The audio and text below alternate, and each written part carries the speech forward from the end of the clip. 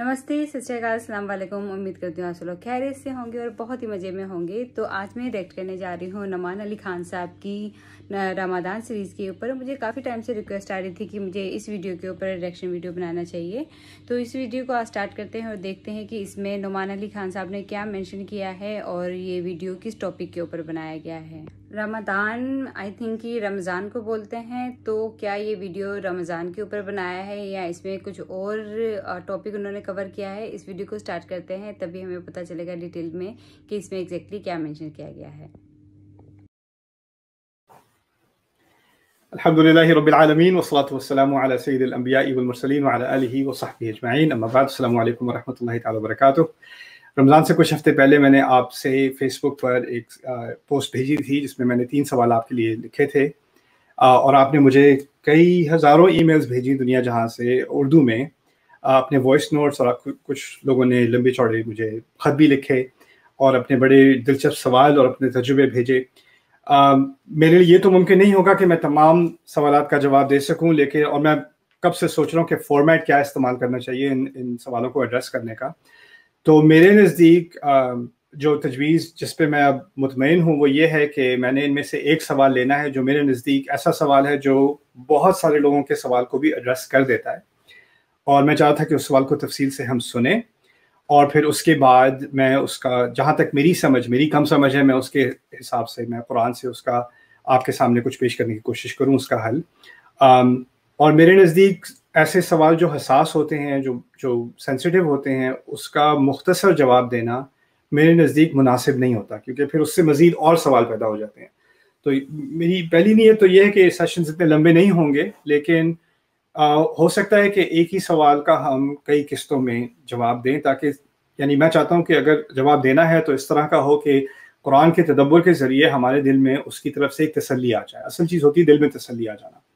तो वो मेरी नीयत है इसलिए मैं अपनी आ, मामा की मदद इस दफ़ा इस्तेमाल कर रहा हूँ क्योंकि आप लोगों के कुछ सवाल इतने सेंसिटिव थे तो मैं ऑफकोर्स ये नहीं चाहता कि मैं आपकी आपका वॉइस नोट प्ले करूँ और फिर आप लोग एम्बेरस हो जाएँ कि घर वाले भी सुन रहे हैं और को तुमने ये सवाल भेजा था तो आपकी आइडेंटिटी को मैं प्राइवेट रखना चाह रहा हूँ। तो मैंने किया ये है कि कुछ जो सवाल मैंने चुने हैं उसको मामा ने मेरे लिए ट्रांसक्राइब कर लिया उसको लिख लिया है उस सवाल को तो वो मामा मेरे लिए पढ़ देंगी मेरे साथ बैठी हुई हैं उनको शर्म आती है कैमरे में आने से तो वो साइड पे हैं। लेकिन इंशाल्लाह एक दिन उनकी हिम्मत हो जाएगी तो वो भी आ जाएँगी कैमरे पे। लेकिन खैर, आज मैं उनसे एक एक लंबा चौड़ा सवाल है, लेकिन बहुत अहम है मेरे नज़दीक। तो मैंने कहा कि पहले कुछ हमारे जो एपिसोड होंगे, उनको इस सवाल के लिए डेडिकेट कर देते हैं। तो पहले उनसे ये सवाल सुन लें फिर मेरे जवाब की तरफ़ आते हैं, इंशाल्लाह। आप पढ़ लें। कुरान की तालीमात से एक चीज़ समझ में नहीं आती, जिसका ताल्लुक अल्लाह की सफ़ात से है। जिस से मैं बहुत कंफ्यूज हो जाती हूँ कि अल्लाह की सफ़ात बहुत बहुत ज़्यादा रहमान, रहीम और मोहब्बत करने वाली हैं। कोई भी इंसान अपनी मर्ज़ी से दुनिया में आया, ना ही उसको इजाज़त दी गई है कि ज़िंदगी अपनी मर्ज़ी से ख़त्म करके यहाँ से चला जाए। तो क्या फिर ये उसका बुनियादी हक नहीं कि ज़िंदगी गुजारने के लिए उसको तमाम ज़रूरियात, सहूलियात मैसर हों? जैसे खाना, पानी, सेहत, जिसम के पूरे अज़ा नफसियाती और जज्बाती ज़रूरियात। लेकिन फिर भी लोग इन चीज़ों के ना होने की वजह से तड़पते हैं। हाथ पैर कट जाएँ, अज़ा पूरे ना हों प्यास से मर जाते हैं। अगर एक जानवर को बाँध दिया जाए तो वो वहाँ अपनी मर्ज़ी से जा भी नहीं सकता। खाना पीना ना मिले हाथ पैर काट कर तकलीफ़ दी जाए। अल्लाह ताला अपने अल्लाह ताला ऐसे कैसे कर सकते हैं? फिर ये कहा जाता है कि दुख, तकलीफ़ अल्लाह ताला की तरफ़ से आजमाइश है। जो इंसान को अल्लाह से मोहब्बत साबित करने के लिए भेजी जाती है, ये कैसी मोहब्बत है? ये तो सबसे खूबसूरत एहसास होना चाहिए। इसमें दुख, तकलीफ़, आँसू, तड़प क्यों होती है? इंसानों में अगर इस तरह की मोहब्बत हो तो इंसान अपने स्पाउस से कहे कि मोहब्बत साबित करने के लिए तकलीफ़ और मुसीबत उठाओ तो इसको टॉक्सिस मोहब्बत कहते हैं। अल्लाह ताला के साथ इस तरह का ताल्लुक किस तरह हो सकता है? इसके जवाब में ये कहा जाता है कि अल्लाह ताला हमारा खालिक और मालिक है। वो हमें हमें जैस हाल में रखे अल्लाह की मर्ज़ी तो फिर हम अल्लाह ताला के हाकिम और मालिक की सफ़ात पर यकीन कर सकते हैं। फिर हम अल्लाह को रहमान और रहीम और बहुत ज़्यादा मोहब्बत करने वाली सफ़ात पर किस तरह यकीन करें? एक मिसाल ये है कि मेरे वालिद एक एब्यूसिव इंसान, शख्स हैं। मेरी शादी के लिए लड़के ने कहा, लेकिन वो भी अब्यूसिव था। लेकिन अल्लाह का शुक्र है कि मैं इससे बच गई। लेकिन इससे बचने के लिए अल्लाह ताला ने मुझे इतनी तकलीफ़ों, परेशानियों से क्यों गुजारा? मैं पूरी मेरी पूरी फैमिली आज तक तकलीफ़ उठा रही है। क्योंकि मेरे वालिद एक अब्यूसिव इंसान हैं। इतना दुख और तकलीफ़ इंसान को तोड़ देती है, खोखला कर देती है। इंसान किसी चीज़ के काबिल नहीं रहता। इतनी तकलीफ़, दुख और तड़प से क्यों गुजरना पड़ता है? तो आप समझ सकते हैं कि मेरे नज़दीक ये सवाल इतना अहम क्यों था? क्योंकि आपके सैकड़ों सवालों में से कई ऐसे सवाल थे जिसमें आप बहुत तकलीफ़ में हैं और इंसान को इस दुनिया में तकलीफ़ उठाना इस इस इस ज़िंदगी का हिस्सा है। तो कद खलक नल इंसान फ़ी कबद हमने इंसान को मुश्किल, कमर तोड़ने वाली मुश्किल में और मेहनत में और मशक्क़त में पैदा किया और उसको उसको बनाया। तो इसके जवाब में मेरे नज़दीक कुरान का पहले फ़लसफ़ा समझने की ज़रूरत है और फिर इस इस सवाल के अंदर कुछ सोशल रियलिटीज़ हैं, उनकी तरफ़ भी इशारा है और उनको भी एड्रेस करने की ज़रूरत है। तो मेरे नज़दीक इसका बेहतरीन सवाल इस इस सवाल का बेहतरीन जवाब हम सूरतुल आराफ में ढूंढ सकते हैं। सूरतुल आराफ में अल्लाह ताला ने आदम के किस्से का ज़िक्र किया, इमाम। और ये किस्सा कुरान में इसका ज़िक्र या तफसील से या मुख्तसर सात मरतबा हुआ है। तो पहली दफ़ा सूर्य बकरा में था और जब सूरत बकरा में इसका ज़िक्र हुआ तो उसमें उसकी कुछ जो तफसीलात हैं वो और हैं और उसको एक दूसरे पहलू से सूरत आराफ में सातवीं सूरत है उसको दूसरे पहलू से सूरत आराफ में ज़िक्र किया गया है और और जगहों पर मुख्तसर सा ज़िक्र किया गया है। लेकिन जब भी इसका ज़िक्र किया गया कोई नई चीज़ हाईलाइट हुई है जो पहले हाईलाइट नहीं हुई थी। कुरान की जो तरतीब है और जो नजूल है, उसमें भी फ़र्क है। तो बकरा तो फिर मदीने में नाजिल हुई। यानी बारह तेरह साल अब कुरान के आते हुए गुजर चुके हैं। दो तिहाई कुरान नाजिल हो चुका था जब सूरतुल्बकरा नाजिल हुई। तो जो किस्सा आप कुरान के शुरू में पढ़ते हैं, वो सहाबा को बाद में सुनने को मिला। और ये जो हम सूरत आराफ में पढ़े, ये मक्की सूरत है तो ये जो मैं, जिससे मैं ये कुछ दर्स अखज करना चाह रहा हूँ, ये जो रसूल और उनके सहाबा थे, उनको ये पहले सुनने को मिला। यानी कई साल पहले। तो उनके दिमाग में जो कॉन्सेप्ट था आदम आसमाम का वो यहाँ से चलता है यहाँ से निकलता है सूरत आराफ से। और आराफ और कुछ और मक्की सूरतें हैं जहाँ पर बहुत ही मुख्तसर ज़िक्र है। लेकिन यहाँ पर कुछ जो जो बातें की गई हैं उनको आ, हम समझते हैं कि ये सिर्फ़ किस्से हैं और इनमें कुछ तारीखी मालूम हैं लेकिन इनमें असल में दीन की बुनियाद है। मेरे नज़दीक कुरान में चार किस्से ऐसे हैं जो अगर गहराई से ना समझे जाएँ हमें कुरान का मकसद और यहाँ तक कि रसूल की बेसत का मकसद ठीक से समझ नहीं आएगा। वो आदम आसम का किस्सा है इब्राहिम आसम का किस्सा है फिर उसके बाद मूसा आसमाम का किस्सा है। ये ये तीन कम अज कम और फिर चौथा आप कह लें ईसा आसमाम का। लेकिन ये चार बुनियादी किस्से हैं कुरान के। ये इस तरह कह लें कि ये जो जो कुरान में कई किस्से हैं उनमें ये सतून की हैसियत रखते हैं। और मेरे नज़दीक इनको सिर्फ़ किस्सा समझ के और आम मुसलमान के नज़दीक इसको जस्ट हमें ये स्टोरी मालूम है अच्छा ये हुआ था फिर ये हुआ था फिर ये हुआ था। हम्म। हमें इंफॉर्मेशन पता है। हम इस बात को नहीं समझते कि कुरान असल में अपने जो प्रिंसिपल्स हैं और जो सोचने का तरीका है वो इन किस्सों के ज़रिए सिखाता है। तो कुरान सिर्फ़ आपको ये ये नहीं बता रहा कि आदम आसमाम पैदा किए गए थे और मिट्टी से बनाए गए थे और फिर उनको ज़मीन पर लाया गया। ये सिर्फ़ मालूम नहीं है। लेकिन कुरान में दो चीज़ें हैं। एक तो क्या कहा जा रहा है क्या क्या इन्फॉर्मेशन दी जा रही है और किस तरह से बात की जा रही है? क्योंकि आप हम हम रोज़मर्रा की ज़िंदगी में समझते हैं कोई अगर मौसर तरीके से बात करता है तो सिर्फ़ ये नहीं है कि बात क्या कर रहा है। बात ये होती है बात कैसे कर रहा है राइट तो ये कुरान में इस इस कैसे की तरफ़ इस कैफियत की तरफ़ यू नो फोकस करने की ज़रूरत है कि अल्लाह ने ये ये किस्सा सुनाया किस तरीके से और कैसे। तो यहाँ से बात शुरू करते हैं इंशाल्लाह आज तकरीबन दस पंद्रह मिनट बात होगी फिर उसके बाद मामा जैसे आपको मैंने ज़बरदस्ती यहाँ बिठाया इसलिए नहीं नहीं ताकि अगर मैं कोई बात एक्सप्लेन कर रहा हूँ और आपके जहन में सवाल आए कोई भी तो आप उसको भी पूछ सकती हैं इंशाल्लाह okay so and I love you for this. This is really helpful. Okay. So, अऊज़ु बिल्लाहि मिनश शैतानिर मैं यहाँ से शुरू कर रहा हूँ आयत नंबर दस है सूतुल आराफ सूतुल आराफ आपको नहीं मालूम तो सातवीं सूरत है सूरह नंबर सेवन और यह आयत नंबर टेन दसवीं आयत वलक़द मक्कन्नाकुम फिल अर्दी वजअलना लकुम फ़ीहा मआयिशा क़लीलन मा तशकुरून हमने तुम्हें ज़मीन में तमकीन दी। अल्लाह ने फरमाया। अल्लाह ने हमें तुम्हें ज़मीन में तमकीन तमकीन अरबी में कहते हैं सेटल हो जाने को इस्टेब्लिश हो जाने को और स्टेबल होने को। तमकीन सिर्फ़ रहने को नहीं कहते स्टेबल होने को कहते हैं। तुम्हें ज़मीन में एक स्टेबल रिहाइश दी, कहने का मकसद ये वजालना लकुम फ़ीहा मायशा और तुम्हारे लिए ज़मीन में माइश मीशा की जमा मीशा अरबी में कहते हैं इस उर्दू उर्दू में मीशत का इस्तेमाल करते हैं उसका। मीशत जैसे रोज़ा यू नो रोज रोज की कहते हैं? क्या कहते हैं? रोज़गार। रोज़गार राइट रोज़गार और रहने सहने का मकान कपड़ा ये चीज़ें ये मीशत में आती हैं राइट हम्म। लेकिन मीशत अरबी में ईश और आइश अरबी में इस्तेमाल होता है जैसे हम उर्दू में भी कहते हैं ना ऐश की ज़िंदगी गुजार रहे हैं। यानी अच्छे तरीके से रहना। तो अल्लाह ने कहा है, तुम्हें ना सिर्फ़ ज़मीन में सेटल किया, तुम्हें यहाँ रहने के लिए, ऐश से रहने के लिए, खैर से रहने के लिए, खुशी से रहने के लिए जो चीज़ों की ज़रूरत थी, उनको भी प्रोवाइड कर दिया। वो जानना लकुम फ़ी हम आयश। कलील अम्मा तशकुरून, कितना कम है कि तुम शुक्र करते हो। बहुत ही कम शुक्र करते हो तुम लोग। तो यहाँ बात, पहली बात, मैंने आपसे कहा था, मैंने आदम आसमाम की बात करनी है। लेकिन आदम आसमाम के ज़िक्र से वो ग्यारहवीं आयत से शुरू हो रहा है किस्सा। लेकिन उस आयत के शुरू होने से पहले ही अल्लाह ने कहा, ज़मीन पे तुम्हें इतनी नेमतें दी गई हैं और तुम्हें स्टेबल ज़िंदगी दी गई है और तुम उसका शुक्र अदा ही नहीं करते। क्या अल्लाह ताला की तरफ़ से हमारे ऊपर कॉमेंट है अभी के लिए क्या तुम्हारी अभी हालत ये है कि तुम्हें मुसीबतों के अंदर तुम्हारा जहन जो है वो हमेशा घूम यू नो घूमता रहता है, तुम्हारे दिमाग में ख्याल आता रहता है। मैं अपने रीडर की बात नहीं कर रहा जिसने सवाल भेजा, मैं अपनी बात कर रहा हूँ, आपकी बात कर रहा हूँ। दिन में कितने कितने ख्याल आते हैं, अब क्या होगा? फाइनेंसिस के बारे में फ्यूचर के बारे में, सेहत के बारे में, बच्चों के बारे में, बीवी के बारे में वालदेन के बारे में, हमें कोई ना कोई फ़िक्र लगी रहती है जहन में। और उस फ़िक्र में होता क्या है कि इंसान हमेशा नेगेटिव की तरफ़ सोच रहा होता है और उसको जिन चीज़ों का शुक्र करना चाहिए, उनसे वो अंधा हो जाता है। जैसे अगर कोई स्ट्रेस में, फ़र्ज़ करें मैं बहुत एंगजाइटी में हूँ और आपने ला के सामने प्लेट पे खाना रख दिया और मैं, चलो बिस्मिल्लाह पड़ी खाना खाना शुरू कर दिया।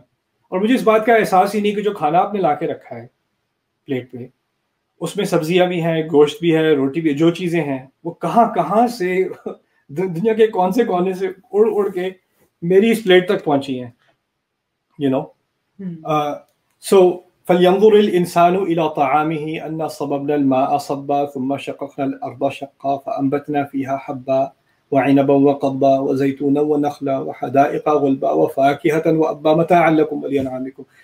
इंसान को देखना चाहिए अपने खाने की तरफ कि हमने पहले आसमान से पानी गिराया फिर उसके बाद ज़मीन से चीज़ें होगी कहानी कहाँ से शुरू हो रही है और कहाँ के मेरी प्लेट तक पहुंची राइट और फिर वो भी जब खाना खा रहा हो अच्छा इसमें नमक कम है यानी अल्लाह जो ये कमेंट कर रहे हैं तुम्हें कितनी चीजें दी हैं तुम्हें इसका अंदाजा नहीं रहता क्योंकि तुम अपनी अपनी सोच में गुम हो जाते हो और फिर तुम्हारे दिमाग से और तुम्हारे दिल से शुक्र निकल जाता है। शुक्र एक एहसास है, सिर्फ़ अल्फाज नहीं है। ये नहीं अल्हम्दुलिल्लाह कह दिया खाने के बाद। या अल्लाह का शुक्र है कह दिया। अल्फाज तो कहना आसान है। शुक्र असल में दिल की हालत है। तो अल्लाह ने पहले हम पर, मुझ पर, आप पर यह कमेंट किया कि हमें नाशुक्री ज़्यादा है और हमें अपनी तकलीफ़ों में गह यू नो डूबे रहने का एहसास ज़्यादा है। दूसरी बात मैं आगे आने बात करने से शुरू कर दूँ कि अल्लाह ताला ने हमसे जितनी आप कहते हैं अल्लाह को हमसे मोहब्बत है। और है कोई मखलूक हमसे इतनी मोहब्बत नहीं कर सकती जितनी अल्लाह ताला को हमसे मोहब्बत है। इस बात का हम सब दावा करते हैं। लेकिन अगर मोहब्बत का तकाजा ये हो कि हमें मुसीबतें नहीं आनी चाहिए जिस तरह के सवाल में इशारा किया गया है हम्म। तो आप पहली बात ये समझ लें कि जो जिन लोगों को अल्लाह ताला ने जिनसे मोहब्बत किसी मखलूक से ज़्यादा की वो अम्बिया हैं अल्लाह के। यानी अल्लाह के सबसे महबूब तरीन मखलूक अल्लाह ताला के अम्बिया हैं। और उन पे जो मुसीबतें आई उनका तो हम अंदाज़ा भी नहीं कर सकते। जो उनकी पब्लिक में बेजती की गई जो उनकी फैमिली ने उनको टॉर्चर किया जो उनको घरों से निकाला गया जो उन, उनको कईयों को अम्बिया को कत्ल भी किया गया जो जो मुश्किलें उन्हें गुजारनी पड़ी तो एक कॉन्ट्रडिक्शन सी लगती है। अल्लाह ताला के सबसे सबसे महबूब मखलूक सबसे मोहब्बत की गई मखलूक और उसके उसके बावजूद उन पर जो मुसीबतें वो किसी और को आ ही नहीं सकती। तो इस ये कॉन्ट्रडिक्शन वही कॉन्ट्रडिक्शन है जिसका आपने ज़िक्र किया तो उसको आगे समझने की ज़रूरत है। अच्छा आगे इस, इसकी तरफ़ आते हैं फिर आज का सेशन मुकम्मल करते हैं। मैं चाहता हूँ कि थोड़ी थोड़ी करके बात हो ताकि बात जहन में ठहर जाए। घंटे डेढ़ का लेक्चर होगा तो आपको एक बात याद रहेगी बाकी बीस बातें भूल जाएँगी राइट सो तुम सो फिर अल्लाह कहते हैं कहते हैं वलकद खलकनाकुम तुम सवरनाकुम तुम्हें हमने ही बेशक इसमें कोई शक नहीं कि हमने ही तुम्हें खल्क किया तुम्हें बनाया। और फिर तुम्हें तस्वीर दी। तस्वीर अभी में कहते हैं मूर्ति बनाने को।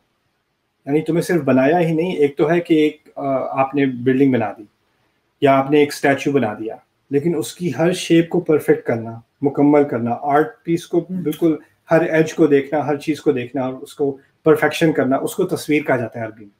और उर्दू में तस्वीर तो तस्वीर होती है तस्वीर खींचना। हम्म। सवर अरबी में होता है क्राफ्टिंग जिसे कहते हैं। जैसे आप आ, बिल्कुल एक एक एज को ना स्कल्पचर जो है वो परफेक्ट कर रहा होता है ना? तो इस, इससे कहने का मकसद ये कि तुम्हें सिर्फ़ तख्लीक ही नहीं किया गया तुम्हें बहुत परफेक्ट तरीके से बहुत अजीम तरीके से बनाया गया और बहुत खूबसूरत बनाया गया है। या ताला को बनाया और ये हमारे लिए लफ्ज़ इस्तेमाल हुआ है सिर्फ़ हमारे जिसम के लिए नहीं क्योंकि हमारे जिसम को वाकई खूबसूरत बनाया गया है। और ताला ने हमें जानवरों की जानवरों से कहीं ज़्यादा खूबसूरती दी है लेकिन हमारे जहन को भी हमारी पर्सनैलिटी को भी हमारी रूह को भी अल्लाह ने तस्वीर दी है एक परफेक्शन दी खूबसूरती दी है। और इसी तस्वीर का एक नतीजा ये है कि जैसे बंदर है या गाय भैंस है या शेर है या जो भी है उनको खूबसूरती की तरफ़ माइल नहीं होते वो वो, वो मखलूक। हमारे अंदर खूबसूरती और हम खूबसूरती की तरफ़ मायल होते हैं। इंटीरियर डेकोरेशन करते हैं अच्छे से अच्छे कपड़े ढूंढते हैं खूब से खूब खाना देखते हैं। हमें सिर्फ़ ये नहीं कि सर पे छत हो और खाना हो जो जो भी घास खा लें कुछ भी खा लें प्रोटीन्स तो मिल जाएँगे कार्बोहाइड्रेट्स तो मिल जाएँगे तो जो जो इसेंशियल चाहिए उससे काम चल जाएगा। हमें खाना भी खूबसूरत से खूबसूरत करना है। खाना अगर अगली लग रहा हो तो खाने को दिल नहीं करता। उसकी स्मेल भी खूबसूरत होनी चाहिए। हमारे कपड़े भी खूबसूरत होने चाहिए। हमारी हमारी सराउंडिंग भी खूबसूरत होनी चाहिए। ये हमारी तस्वीर का तकाजा है एक्चुअली हमें जो खूबसूरत बनाया तो हमारे इर्द गिर्द भी खूबसूरती की हमें, हम खूबसूरती की तरफ़ माइल हो जाते हैं। इसीलिए ताला ने एक हदीस में, हदीस कुर्सी में है इन और हदीस में एक्चुअली इन अल्लाह जमील युहिब्बुल जमाल अल्लाह खूबसूरत है और उसको खूबसूरती पसंद है तो खैर यहाँ पर तुम्हें बनाया और तुम्हें ये परफेक्ट तश्कील दी सुम्मा कुलना लिल मलाइकतुल आदमा फसजदू इल्ला इब्लीस फिर हमने फरिश्तों से कहा कि आदम को सजदा करो ये अजीब आयत है इसमें एक बात की तरफ़ इशारा है जिसको हम ज़्यादा अटेंशन नहीं देते बात आदम से शुरू नहीं हुई थी एक ही आयत है बात आदम से शुरू नहीं हुई थी। बात शुरू हुई थी तुम ज़मीन में रहते तुम शुगर नहीं करते। फिर तुम्हें से कहा तुम तुम सबको बनाया। तुम सबकी तस्वीर की तुम्हें परफेक्ट बनाया। फिर फरिश्तों को हुक्म दिया कि आदम को सजदा करो।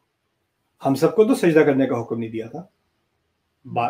सजदा तो आदम आसमाम को कहा था कि उनकी तरफ़ आप सजदा करें। बात में इशारा इस तरफ़ है कि हम सबकी तख्लीक हो चुकी थी। इसमें असल इशारा ये है कि हम सब बनाए जा चुके थे।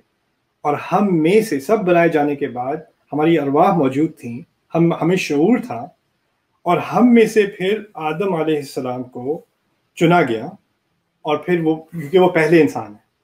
और हम ये जो सारा सीन है ना मखलूक का और ये फरिश्तों ने सजदा करना था और इबलीस ने जो है आगे से मना किया ये सारा जो सीन है अल्लाह ताला इशारे में ये बात कह रहे हैं कि हम उस सीन में शाहिद थे।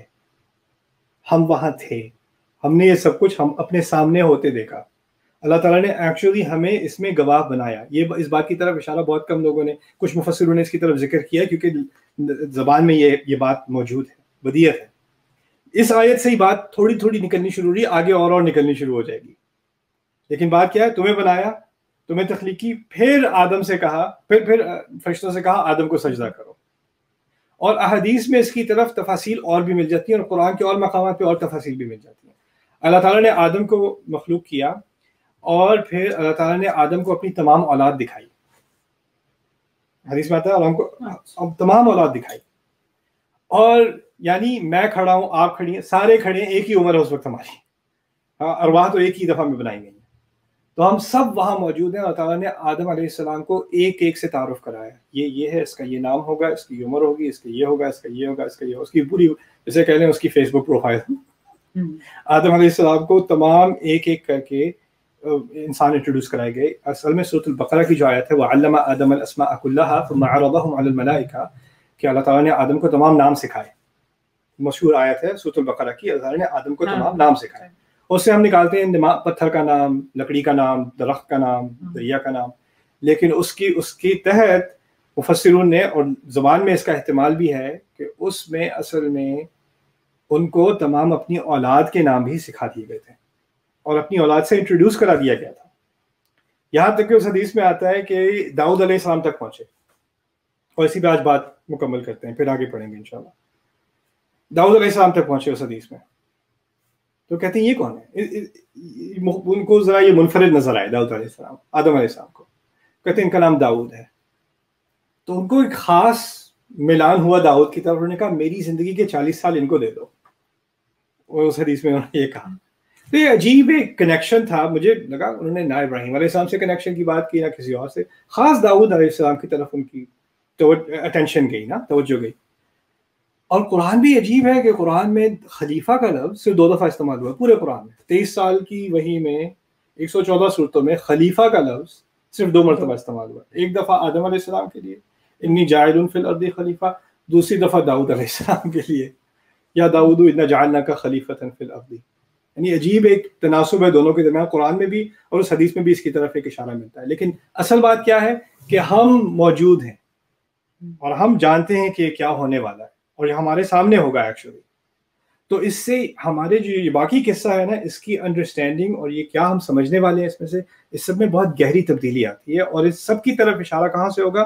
सोतुल आराफ की तरफ़ से। तो इन शाला इस पर कल मजीद कुछ बात करेंगे। इसी सवाल पर कुछ दिन ठहरेंगे। इसको तहमुल से समझने की कोशिश करेंगे क्योंकि मेरे नज़दीक इससे ज़्यादा दिल को तसली देने वाला जवाब कुरान में अभी तक मुझे तो नहीं मिला। होगा, अल्लाह ताला के ये हमत जो है उसमें कोई उसमें कोई लिमिट नहीं है और मैं तो सिर्फ़ अभी थोड़े थोड़े खतरे पकड़ के मैं कुरान समझ रहा हूँ। लेकिन जहाँ तक मुझे समझ में आया है मैं इनशाला ये चीज़ आपसे शेयर करना चाहता हूँ। मैम कैसा रहा? बहुत अच्छा। ऐसी कहने के बाकी अच्छा नहीं नहीं बहुत अच्छा। ओके चलिए इंशाल्लाह कल कंटिन्यू करते हैं। बारक वालेकुम अस्सलाम वालेकुम रहमतुल्लाहि व बरकातहू। तो बहुत ही अच्छी सीरीज़ स्टार्ट की है ये नुमान अली खान साहब ने, जिसमें वो लोगों के क्वेश्चंस को एड्रेस करेंगे। इस सीरीज़ को कंटिन्यू करते हैं हम और देखते हैं कि आने वाले टाइम में और कौन कौन से क्वेश्चन एड्रेस करते हैं वो इसमें। और आज की इस वीडियो को हम यहीं ख़त्म करते हैं। Bye bye